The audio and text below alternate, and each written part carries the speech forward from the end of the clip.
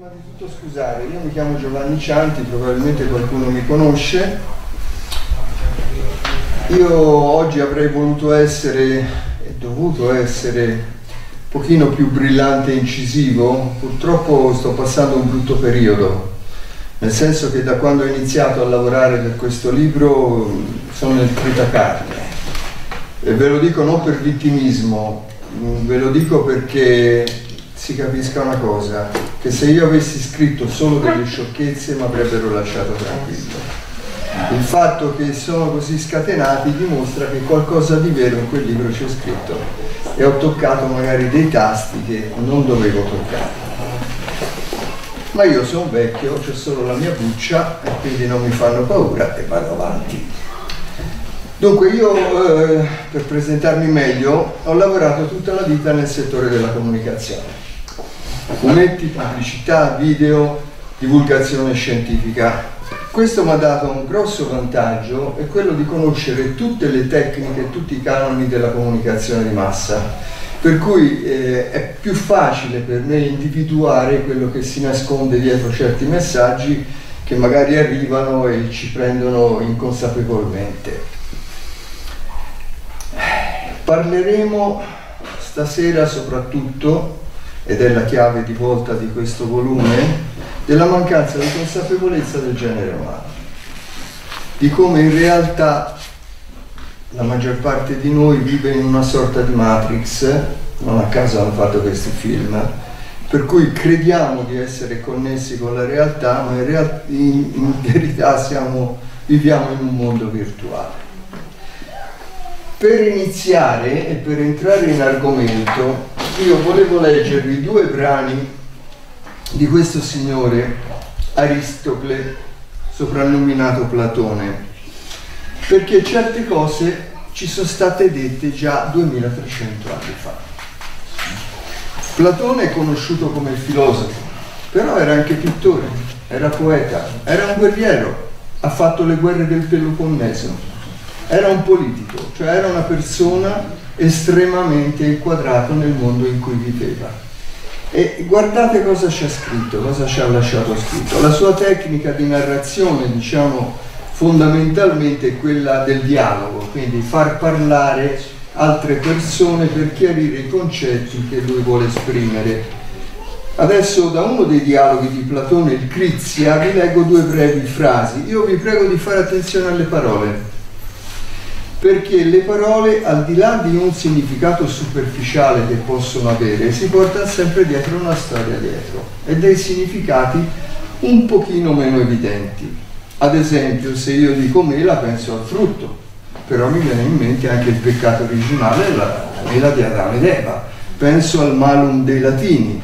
Quindi vedete c'è tutto un universo dietro ciascuna parola. Oggi come oggi con la neolingua, col politicamente corretto si è giocato molto sul significato delle parole, fino ad attribuire significati che in realtà non hanno, oppure nascondere certe parole perché troppo chiare, che troppo evidenziavano una realtà.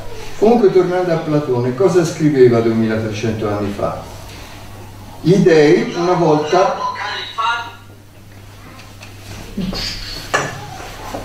Replay. Gli dei, una volta, si divisero in vari luoghi di tutta la terra, secondo la sorte, non per contesa. Ottenuto così con le sorti della giustizia, quanto era loro gradito, popolavano le terre e dopo averle popolate nutrivano noi il loro possesso e prole come i pastori il bestiame. Allora, al posto della parola dei mettiamoci l'elite, è già il quadro pochino si chiarisce. E già il primo paragone non è lusinghiero perché ci, eh, non ci costringevano i corpi con la forza dei pastori che traggono al pascolo il bestiame con le percosse, ma siccome l'uomo è un animale docilissimo, dirigendo quasi dalla poppa di una nave secondo la loro volontà e adoperando come timone la persuasione per muovere gli animi, reggevano così tutto il genere mortale. Cioè lui cosa ci dice? Ci dice che non avevano e non hanno bisogno di usare sempre la violenza, basta la persuasione, perché noi siamo animali docilissimi. E quindi si torna a questo concetto del gregge di una volta, della mandria come l'ho chiamata io. Faccio vedere un attimo. Ecco, questo è il signor Platone. Dalla Repubblica, sempre Platone, un altro brano un pochino più impegnativo, appunto il mito della caverna. Fate attenzione. Degli scritti di Platone si è discusso tantissimo, si è parlato per secoli, per millenni addirittura, facendoci credere che era banalmente un fatto di filosofia, un fatto così astratto, slegato dalla realtà. In verità Platone parlava di cose molto concrete e se si segue bene le sue parole lo si capisce. Allora lui scrive, capitolo settimo della Repubblica, dentro la dimora sotterranea a forma di caverna, con l'entrata aperta alla luce e ampia quanto tutta la larghezza della caverna, pensa di vedere degli uomini che vi stiano dentro fin da fanciulli, incatenati gambe e collo, sì da dover restare fermi e da poter vedere soltanto in avanti, incapaci a causa della catena di volgere attorno il capo. L'illustrazione mi sembra esprime molto bene. Alta e lontana brilli alle loro spalle la luce di un fuoco e tra il fuoco e i prigionieri corre rialzata una strada. Lungo questa pensa di vedere costruito un muricciolo come quegli schermi che i burattinai pongono davanti alle persone per mostrare al di sopra di essi i burattini e anche questa frase secondo me è molto significativa, poi vediamo perché. Vedo rispose. Immagina di vedere uomini che portano lungo il muricciolo oggetti di ogni sorta, sporgenti dal margine, e statue e altre figure di pietra e di legno, in qualunque modo lavorate. E come è naturale, alcuni portatori parlano, altri tacciono. Strana immagine la tua, disse, e strani sono quei prigionieri somigliano a noi, risposi.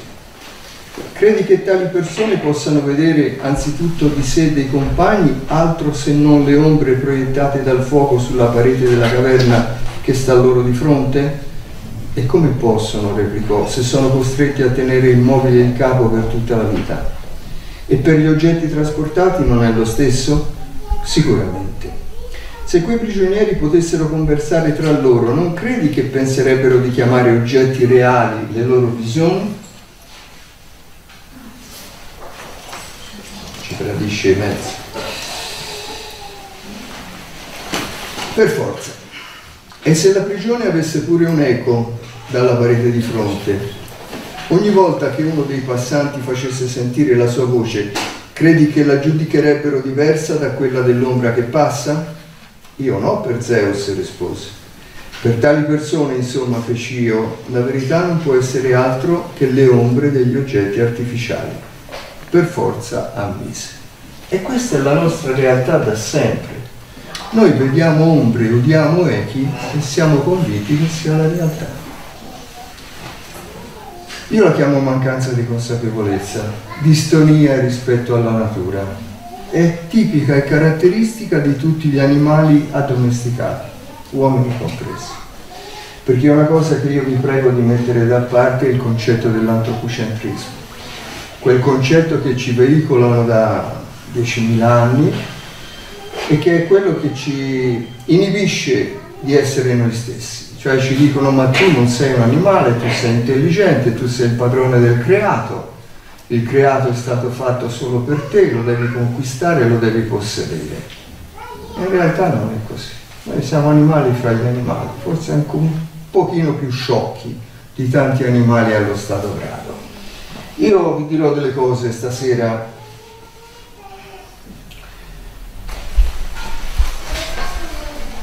fatene quello che volete.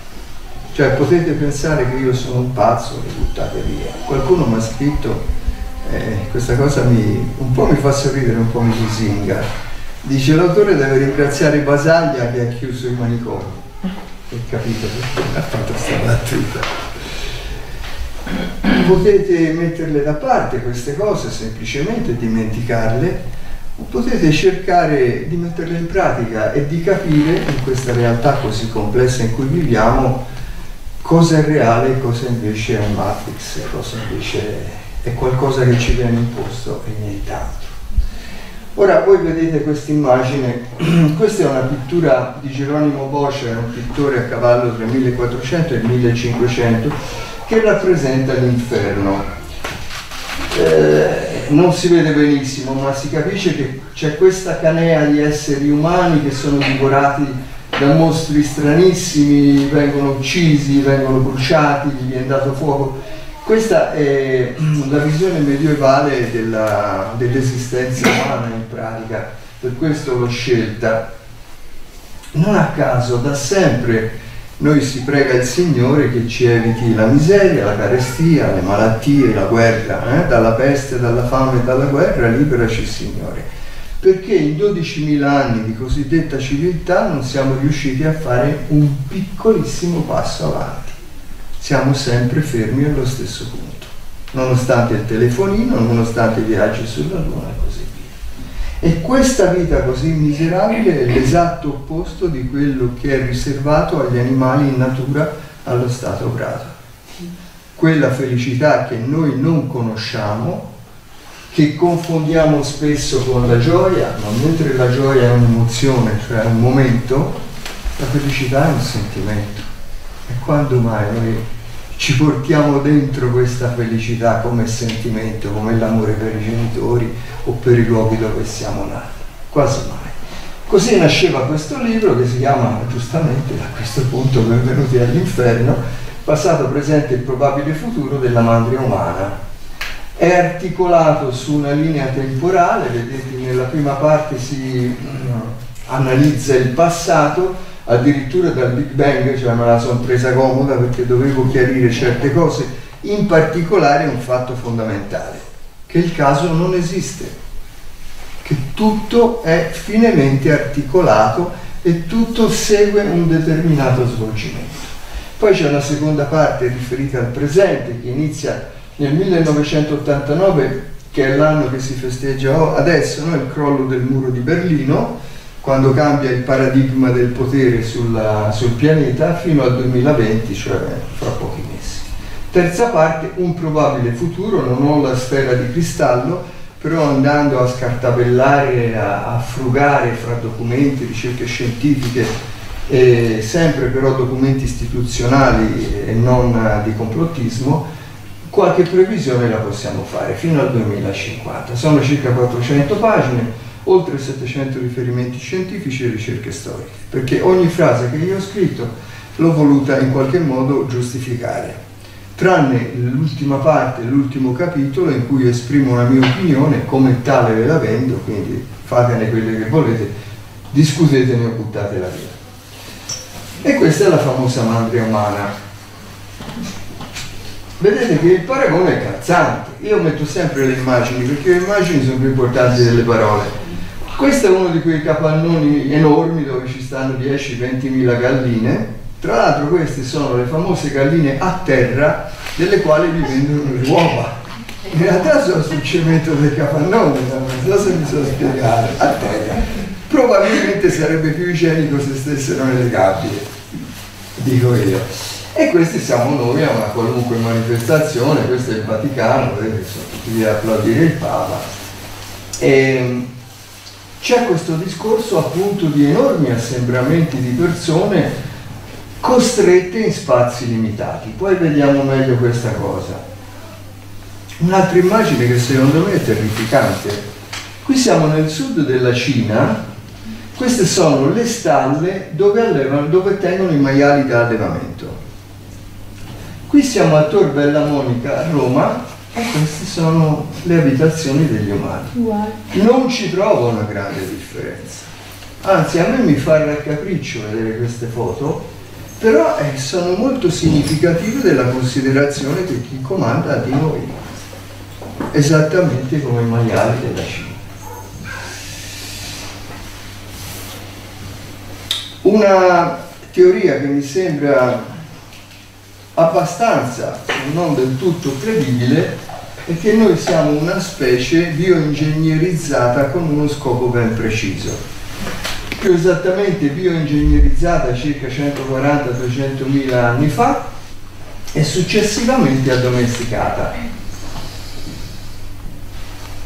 Poi vediamo meglio i dettagli. Si può supporre che l'aspetto dei primi sapiens, dei primi umani sapiens, fosse più o meno questi. Questi sono aborigeni australiani, una foto fatta nel 1939 da un dentista che girava il mondo alla ricerca del, dei fisici e della dentatura perfetta. Il signore nel mezzo ha la barba bianca, quindi evidentemente non è neanche giovanissimo, guardate che fisici, sono asciutti, sono muscolosi e sono splendidi. Questo è il vero aspetto dell'Homo sapiens. Poi noi vediamo qua una pittura egizia di 3000 anni fa, in epoca già di domesticazione della mandria. E infatti, vedete, stanno tagliando il grano, non sono coltivatori, sono agricoltori. Attenzione, al di là dell'aspetto estetico, che pure è molto piacevole, questa è una foto dell'epoca, cioè ci racconta nei dettagli come erano vestiti, come era il copricapo, come il grano, come il falcetto e ci descrivono la posizione di lavoro di questi contadini. Vi sembra fisiologica? Molti di voi vengono dall'ambiente fitness, delle palestre, la schiena curva, tutto il giorno sotto il sole. Quando ero ragazzo io, ancora i contadini in campagna, dopo 50 anni, camminavano così non riuscivano più a stare dritti. Questo è quanto ci hanno riservato. Allora, facciamo un primo passaggio che comunque il Mauro Villino ha spiegato fino alla noia. Praticamente noi siamo primati, siamo in qualche modo vicini a questa grande famiglia. La prima cosa che ci differenzia, io poi nel libro ne cito almeno 20 di questi diversità del DNA, dei cromosomi tra noi e i primati, ma comunque la, la, cosa fondamentale è che noi adesso abbiamo 23 coppie di cromosomi contro 24 dei primati, perché c'è stata la fusione fra due cromosomi, si chiama traslocazione roversoniana e è, già quello è qualcosa di abbastanza strano di abbastanza misterioso. Poi arriviamo all'Homo sapiens, che sorge all'improvviso nella regione orientale dell'Africa, nel cosiddetto Corno d'Africa, definito la culla dell'umanità, che non ha una filiazione diretta con altre specie umane preesistenti e coesistenti con lui, circa 140-200 mila anni fa. Perché dico 140-200 mila? Perché la eva mitocondriale, cioè il DNA dei mitocondri, sapete sono quegli organelli che stanno dentro le cellule, che ci danno energia risale a 140.000 anni fa. Eh, il cromosoma Y maschile risale al periodo antecedente e quindi l'adamo cromosomico è arrivato prima, 200-250.000 anni fa. Io preferisco 140.000 perché a questo punto la coppia umana si è completamente formata. E anche questo è buffo, guardate, se noi andiamo a leggere la Bibbia, che cosa si scopre? Che Dio all'inizio crea Adamo e poi Adamo si sente solo, allora gli fa Eva Guardate in termini cronologici come c'è un'assonanza, sarà un caso? E sarebbero tutti casi, sono tutti casi da, da vedere. Allora, eh, il sapiens presenta rispetto agli altri umani preesistenti delle caratteristiche peculiari che io vi anticipo sono funzionali non alla sopravvivenza nell'ambiente, ma allo sviluppo della tecnologia e alla sottomissione. Hanno manipolato i geni per renderci adatti a sviluppare tecnologia e essere docili e sottomessi. Per esempio, lo sviluppo dei lobi parietali. Il cervello degli umani, a partire già dall'Homo habilis, erano circa 800 cm3, 850 cm3, si è accresciuto nel corso dei milioni di anni fino ai 1600 cm cubici del Neanderthal, però sempre in senso longitudinale. Tant'è vero che questi umani mantenevano la fronte bassa e sfuggente che è caratteristica delle scimmie. Il sapiens evidenzia un notevole sviluppo dei lobi parietali che spingendo in avanti la corteccia danno alla nostra fronte quell'aspetto più verticale. Se noi andiamo a esaminare a cosa sovrintendono i lobi parietali, noi scopriamo che fondamentalmente sovrintendono al pensiero simbolico. Mi spiego con un esempio. Gli scimpanzé quando vanno a caccia delle piccole scimmette arboricole strappano dei rami dagli alberi, con i denti gli fanno la punta, quindi hanno dei bastoni acuminati e con questi bastoni acuminati uccidono le piccole scimmie delle quali in parte anche loro si nutrono. L'uomo di Neanderthal faceva esattamente la stessa cosa, cioè aveva dei bastoni acuminati con i quali cacciava, ma non aveva ancora capito che se il bastone invece di usarlo tenendolo in mano io lo lancio è più micidiale perché ha più inerzia e lo faccio con più vantaggi per la mia sicurezza perché sto a distanza dall'animale. È stato il Sapiens che ha pensato di lanciare il bastone e poi ha inventato l'arco e le frecce. E questo è possibile solamente se c'è questa correlazione fra il simbolo e la realtà, che poi è alla base della tecnologia. Poi questi nuovi parietali sono il centro, per esempio, della parola, dei calcoli matematici, della eh, percezione dello spazio, eccetera, eccetera, che sostanzialmente sono tutte caratteristiche che ci rendono idonei, efficienti a sviluppare tecnologia. Altro accadimento stranissimo che avviene solo nel Sapiens si abbassa la laringe a favore della faringe. Anche questa è una mutazione che in termini di relazione con l'ambiente evolutivo è negativa perché impedisce di deglutire e di respirare allo stesso tempo. Tant'è vero che i bambini fino all'età di due anni hanno la laringe alta, e si abbassa con l'età perché hanno la laringe alta? Perché devono contemporaneamente succhiare il sangue materno e respirare. Si fa spazio la faringe e a cosa serve la faringe insieme alla cavità della bocca? Serve a vocalizzare il linguaggio, a farci pronunciare A, E, I, O, U. Se io non avessi questa caratteristica oggi non potrei parlare con voi. Ci consente un linguaggio articolato, allora qui bisogna fermarsi un attimo e fare una riflessione.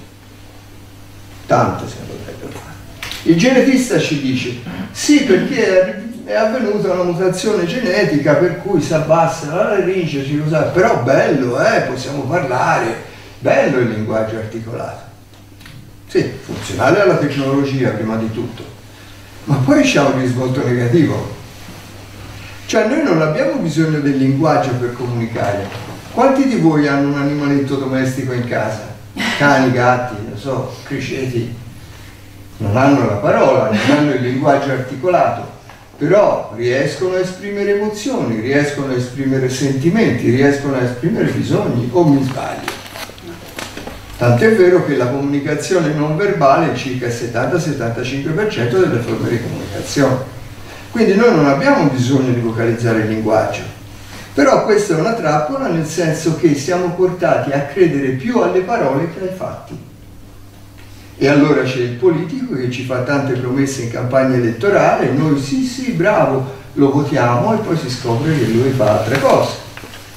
C'è la ragazzina della quale siamo innamorati che ci dice sei l'uomo della mia vita, poi si gira la testa e sta con altro. Questa è la trappola più grande che esiste. E noi come si può ovviare? mettendo sempre in relazione le parole con i fatti. Bravo, hai detto questo? Vediamo se poi tu lo fai. E lì tu giuri di una persona. Andiamo avanti ancora. Il gene della paura. Sapete che la paura è un'emozione fondamentale, no? Perché ci salva la vita. Ho paura di una certa situazione, sto alla larga. E c'è una paura spontanea che è quella del topolino che già appena nato evita gli spazi aperti, cerca di stare nei cunicoli e c'è una paura indotta per esempio con le tecniche di Pavlov, no? se io attraversando una porta prendo una scarica elettrica alla fine quella porta non la attraverso più anche se la scarica non arriva. A sovrintendere a questa emozione ci sta questo gene appunto che hanno chiamato oggi statinina che conoscevamo da almeno 20 anni come oncogene 18, perché è correlato alla leucemia. E la cosa strana di questo gene è che è estremamente potenziato sia negli uomini che negli animali domestici e ha fatto un salto cromosomico.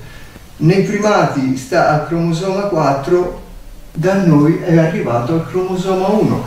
Sapete che i cromosoma sono numerati in base alla dimensione e all'importanza, quindi il cromosoma 1 è più grande e più importante.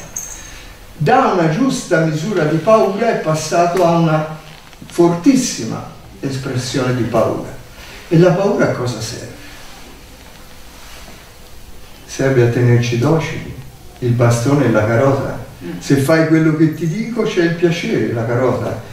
Se fai di testa tua c'è il dolore, c'è il bastone. La paura è una delle armi fondamentali di controllo sulla massa, sugli animali in generale.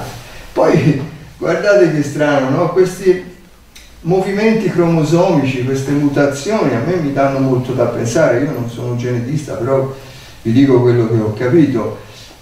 Praticamente il DNA di qualsiasi essere vivente sulla Terra fondamentalmente è stabile, quello. poi ci sono dei polimorfismi, cioè delle espressioni diverse di questi geni, ma sostanzialmente rimane dalle quali per milioni, addirittura miliardi di anni.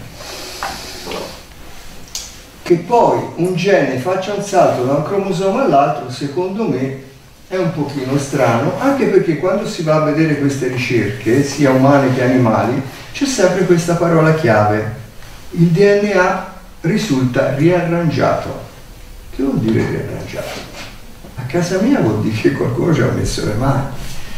E hanno cercato di spiegarlo in tanti modi, li hanno chiamati trasposoni, no? questi geni quando cambiano il cromosoma o in eh, tono più amichevole jumping genes, geni che saltellano, no? è duro a capire. E poi c'è un'altra circostanza, che le mutazioni in natura avvengono, e possono essere spontanee o indotte, ma solitamente quando avviene una mutazione nel DNA di un vivente, quel vivente o muore o non si riproduce perché è sterile. Penso vagamente alla sindrome di Klinefelter, per esempio, il doppio X nel, nel cromosoma sessuale, no? sapete, XY maschio, XX femmina. Questi poveretti vengono al mondo XXY, per cui fisicamente sono una cosa molto strana, organi riproduttivi quasi non sviluppati, criptorchidismo, ipospadia, ginecomastia, obesi, eccetera, eccetera, eh, sono sterili. Quindi quella mutazione loro non sono in grado di trasmetterla alla generazione successiva. Poi c'è un'altra cosa ancora molto importante, secondo me, è la neotenia, cioè eh, la conservata plasticità del nostro cervello per tutta l'esistenza. Perché il gene che chiude la cresta neurale e quindi rende il cervello non più plastico, non più in grado di apprendere, è stato inibito. Devo fare una parentesi perché capiate meglio.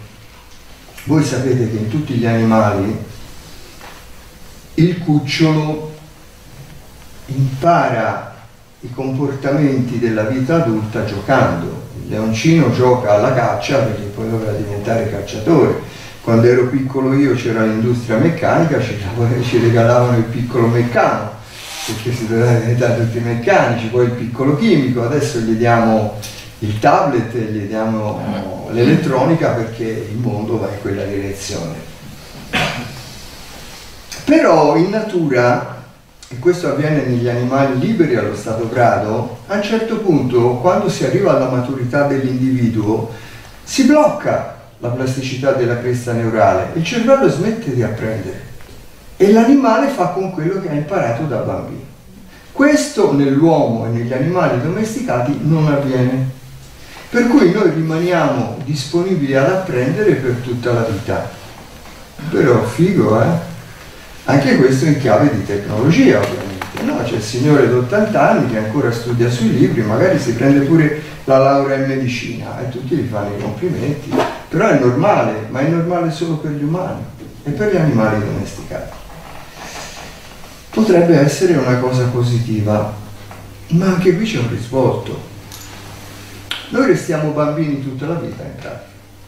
Non so se ci avete fatto caso Anche a livello proprio somatico dei lineamenti del viso conserviamo i lineamenti dell'infanzia, mentre gli altri animali poi quando sono maturi cambiano addirittura fisionomia. E portiamo per tutta la vita dietro questo bisogno di giocare, che è una cosa mostruosa, secondo me. Te giochi da bambino per imparare il mestiere che farai da grande, ma quando sei adulto lavora, pensa alla famiglia, vivi.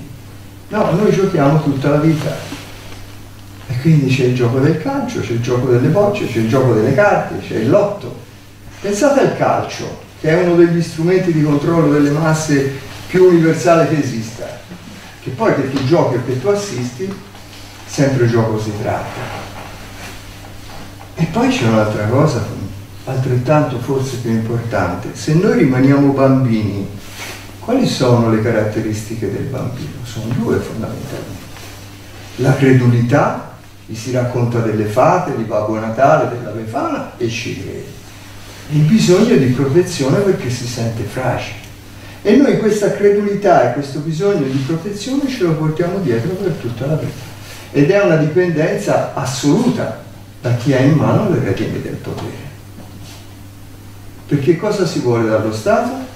Che si occupi di noi, che si preoccupi per noi, che ci risolva i problemi, prima ancora di essere noi stessi a risolvere. Quindi si rimane bambini tutta la vita. Cose analoghe sono successe per esempio con i cereali. Il grano, definito una chimera biologica, compare all'improvviso circa 300-350 mila anni fa nel sud della Turchia dall'unione fra due erbe che non avevano niente in comune, appartenenti a due specie diverse cosa di nuovo che in natura non dovrebbe succedere.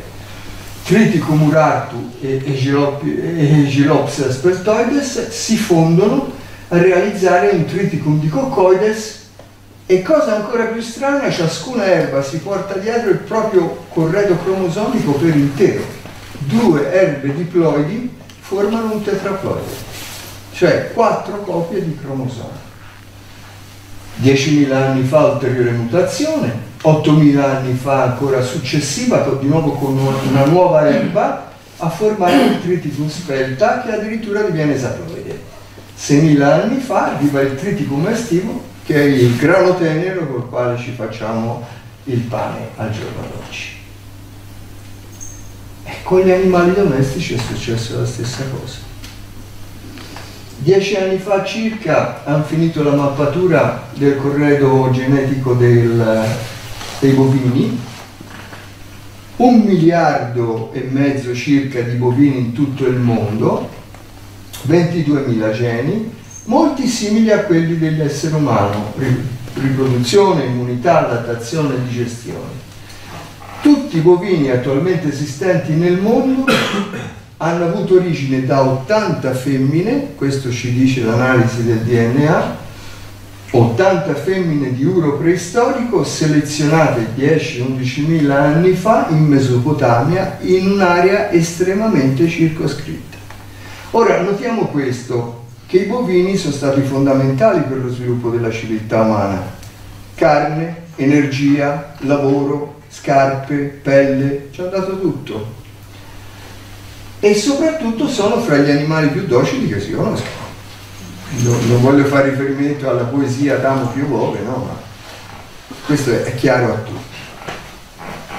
E sarebbero stati originati da questa bestia assurda, l'uro preistorico, che noi conosciamo bene. Perché lo conosciamo bene? Perché l'ultimo esemplare si è estinto in Polonia nel 1627, quindi ci ha accompagnato per tutta la civiltà ed è rimasto per 12.000 anni un animale ferocissimo che nessuno è mai riuscito ad addomesticare. Veniva cacciato per la carne, per fare sacrifici, lo portava nel circo per fare gli scontri con i gladiatori. Però nessuno in 12.000 anni è mai riuscito ad addomesticarlo.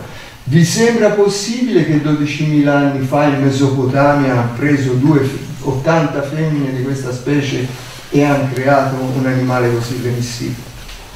Vedete che ci sono delle cose che non si spiegano con la ragione. Io vi porto dei fatti, poi ognuno fa le valutazioni che crede.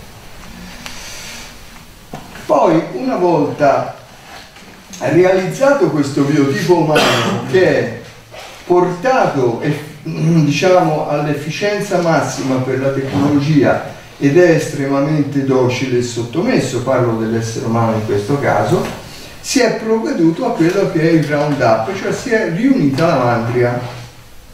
Ne eravamo stati cacciatori raccoglitori, all'improvviso ci dedichiamo all'agricoltura, che è un lavoro massacrante che difficilmente è stato, diciamo, libera scelta. Io qui ho fatto un paragone che mi sembra calzante e anche molto feroce fra la domesticazione dei bovini e la domesticazione umana, cioè i passaggi, vedete, sono gli stessi. Cioè tu prendi l'animale nella savana, allo stato brado, lo chiudi, lo privi della libertà nelle stalle, ma anche noi ci hanno chiuso delle stalle che si chiamano città magari, oppure quartieri particolarmente disperati, o comunque noi abbiamo un recinto, una gabbia, una stalla che è data dalle leggi. Cioè noi siamo passati dalla massima libertà individuale alla schiavitù della legge, che è sempre un atto di violenza e di prevaricazione, può essere considerato più o meno giusto, ma è sempre un'imposizione che ci viene da fuori, non una scelta libera nostra. Spesso questi ambienti sono anche sporchi, maleodoranti. Pensate ai bovini nella stalla, non è che i bovini sono contenti di stare lì attaccati l'uno all'altro e vivere nei propri escrementi. Non mi fa a piacere per niente. Eh? E così noi siamo costretti, io penso per esempio a certi quartieri degradati o all'Islam delle grandi città, a vivere nell'assoluta promiscuità, spalla a spalla con altri umani e non sempre ci fa piacere, e nella sporcizia. Poi gli animali domesticati sono utilizzati per produrre qualcosa, nel caso della mucca carne e latte, nel caso nostro energia inizialmente e lavoro. Per esempio questo è un call center, adesso il lavoro si è spostato lì.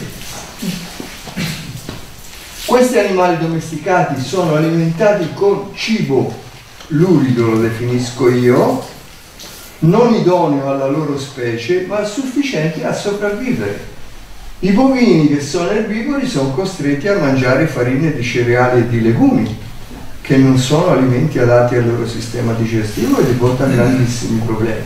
Noi lo stesso. Guardate, da 12.000 anni, qui c'è una, una, bella cosa da notare, la si rende conto, da 12.000 anni per l'elite c'è sempre stato carne e verdura, per le mucche, i maiali, e la massa degli umani c'è stato cereali e legumi e derivati del latte. Tant'è vero che attraverso la storia le elite vivevano esattamente quanto noi oggi. Platone morì a 80 anni, Pitagora a 90 perché lo ammazzarono. Eh, Leonida fu ucciso a 60 anni alle Termopili, ma a 60 anni faceva ancora la guerra persiana. Forse mi spiego. Mentre le masse nel Neolitico all'inizio la durata della vita è scesa a 25 anni, poi risalì pian piano 27, 30, 35, fino al Medioevo 40, non di più, soltanto negli ultimi secoli in qualche modo è risalita a cominciare dalle campagne, non dalle città, perché le condizioni di vita nelle città erano terribili. Nella Londra della rivoluzione industriale la gente moriva a 25-30 anni come nel Neolitico perché c'era malnutrizione, c'era sporcizia, c'era inquinamento.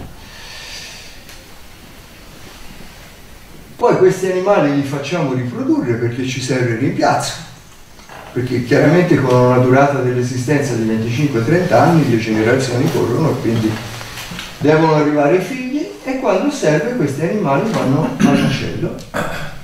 Capite bene cosa intendo per le mucche? E capite bene qual è il macello degli umani, tutte le guerre che ci hanno fatto fare, tutte le rivoluzioni tutte le stragi. Io questo voglio sottolineare, che l'uomo in quanto tale mai ha fatto la guerra, mai ha fatto la rivoluzione, mai ha fatto il terrorismo. È stato utilizzato per fare le guerre, è stato utilizzato per fare rivoluzioni, è stato utilizzato per fare il terrorismo, con sistemi che ce ne sono a centinaia e qualcuno li vediamo insieme. Se mi annoio me lo dite, eh? io parlo di calcio. non potrei, non, non lo seguo. Allora, succede anche 12.000 anni fa quando fanno questo round-up dell'Amantia che c'è una grande transizione economica, cioè si passa da un'economia di sussistenza a un'economia di produzione. L'economia di sussistenza, caccia e raccolta, economia di produzione inizialmente agricola, ma successivamente con la stessa logica e con gli stessi sistemi, poi industriale, poi di servizi, poi di consumi e compagnia bella. Cosa vuol dire? Qui bisognerebbe un po' capirlo questo, perché quando ci parlano in televisione di economia, cominciano a tirare fuori numeri, algoritmi, discorsi astrusi, noi ci sentiamo tutti scemi e si dice no, ma questa è una materia troppo difficile per me, è bene che la, ne, facciano uso gli esperti. In realtà l'economia è la cosa più bischera del mondo, perché tutte quelle attività funzionali alla sopravvivenza e alla riproduzione sono economia. L'ape che vola di fiore in fiore a raccogliere il nettare fa economia, il leone che caccia la gazzella fa economia. E quasi tutte le specie animali hanno un'economia di sussistenza, cioè dall'ambiente prendono giorno per giorno lo stretto necessario a sopravvivere e non di più. Quindi non è un'economia di predazione, è un interscambio con l'ambiente. In questa economia di sussistenza l'individuo è la pedina principale. Tant'è vero, questo si rispecchia nella società dei cacciatori-raccoglitori in cui l'individuo sta al vertice della piramide, poi viene la società naturale che è la famiglia, poi finalmente viene la tribù, che è un insieme di famiglie che si ritrovano e si allontanano a seconda della necessità. E anche qui ci sono dei numeri ben precisi che non vanno sottovalutati e ci aiutano a capire com'è perversa la società in cui si vive oggi. Cioè la, la società tribale non mai super, non supera mai i 150-200 individui. E questo è messo in relazione con le dimensioni della nostra corteccia, perché noi entro questi numeri siamo in grado di riconoscere l'individuo. Oltre questi numeri noi pensiamo per stereotipi, per cui io conosco Matteo, so la sua storia, la sua vita, le sue necessità, il suo carattere Verso Matteo io esplico tutte quelle doti che vengono definite di umanità, cioè la solidarietà, la condivisione, l'affetto, l'empatia. Ma con gli stereotipi francesi, gli inglesi, gli africani, io non posso esprimere queste doti, perché non li conosco, perché non so chi sono. Ce le impongono, però noi viviamo in conglomerati umani che minimo sono 10.000 persone di un paese, sono 150.000 di una piccola città, sono milioni di una grande città, sono miliardi addirittura in certi stati, penso per esempio alla Cina, un miliardo e mezzo di persone. E non è una società naturale quella lì, è una società che tu tieni in piedi solo con la violenza della legge, solo con la coercizione. E la gente soffre anche se non se ne rende conto di questa cosa. Quando ci hanno tolto dall'attività gioiosa di caccia e raccolta, basta andate su YouTube a vedere i boscimani quando vanno a caccia, fanno una passeggiata nella savana, frecce avvelenate, vedono l'antilope, tirano la freccia, aspettano che muoia, vanno a pezzi e si allontano al villaggio. Fine della, della loro giornata lavorativa. 2, 3, 4 ore al massimo di lavoro tra l'altro gioioso, in mezzo alla natura, in mezzo agli amici, in mezzo alla famiglia. Lo stesso la femmina che va a fare raccolta di, di frutta e verdura. Tutt'altra storia è l'economia di produzione. L'economia di produzione, prima di tutto, non è mai profittevole. Questo è un altro concetto importante.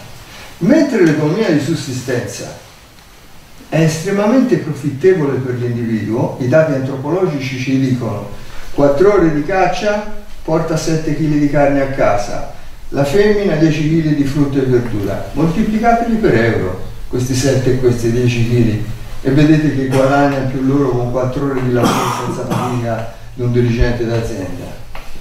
Nell'economia di produzione non c'è profitto, nel senso tu stai 10 ore schiena curva sotto il sole a zappare e se qualcuno di voi ha mai zappato sa la fatica bestiale che questo comporta, in cambio di qualche sacco di grano.